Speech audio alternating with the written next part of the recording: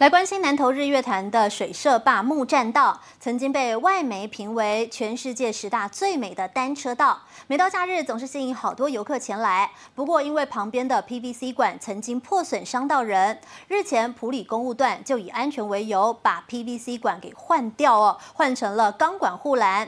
但是因为哦，这个钢管护栏跟环境实在是太不搭了，让民众看了很傻眼，觉得这个非常丑，丑到让美景都回不去了。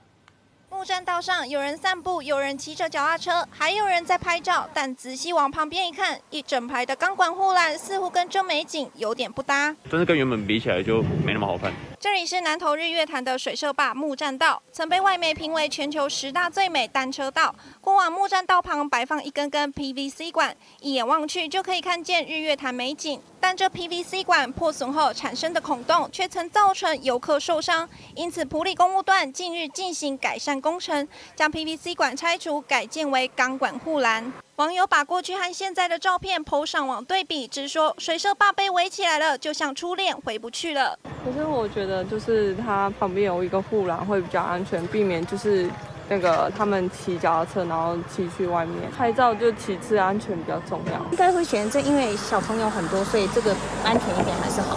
有人注重安全，也有人直言钢管护栏一点美感都没有，人被隔离，美景也被隔离。按照我们日月潭新纪年哈。在针对那个老旧护栏更新的部分哈，我们是采用那种钢管式的护栏哈，它兼具了那个透空性跟实际上的人车阻隔性哈。公务机关以使用为出发点，没有要改回的迹象，对于外界的负评给了这回应。其实习惯就好。记者曾如成南投报道。